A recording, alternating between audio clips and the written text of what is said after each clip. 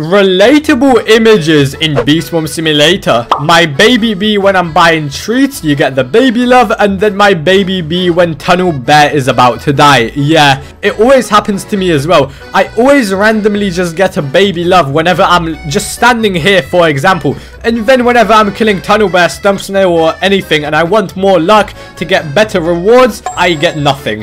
When I get the festive gift, but the tokens are in the air or in the wall, my haste stack right when the legendary sprout pops up. Here is actually a good thing as well. So when you least expect it, you get what you actually want. Someone got a fuzzy bee out of 34 royal jellies, and then they actually fed 150 pineapples, and they got it gifted.